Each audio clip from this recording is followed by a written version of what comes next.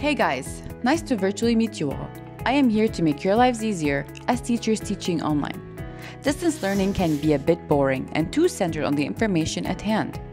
How can we turn this experience around into an interactive one? By transforming it into an engaging brainstorming session.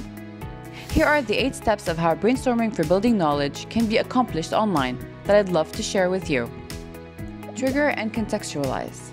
First, kick off by stimulating your students' minds with contextualized visual support documents that relate to the topic you're discussing. Share photos, videos, audio documents just to get the ball rolling. After that, engage with them by asking questions that trigger their thought process. This might also start a conversation and could be an interesting start. But don't forget to constantly lead, manage, and sustain the visual classroom, encourage their motivation, expressions, ideas, emotions, while exploring the subject without giving them the answers from the start. Tip of the day always yes and their ideas, never block their train of thought.